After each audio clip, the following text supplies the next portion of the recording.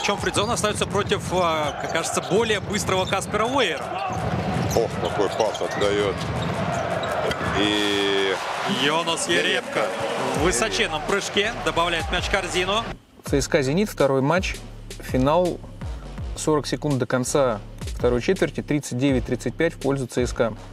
Алексей Швед выносит мяч из-за боковой линии и получает передачу назад.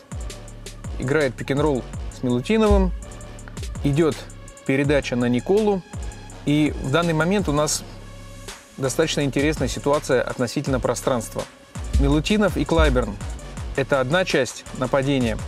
Здесь все понятно, передача для свободного броска. А на второй части площадки, где стоит Алексей, Йонас и Каспер, у нас есть определенная проблема со spacing ом.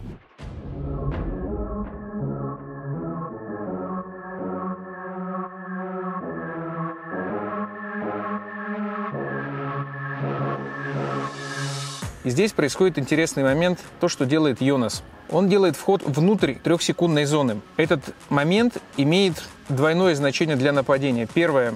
Во время входа он разряжает пространство на периметре.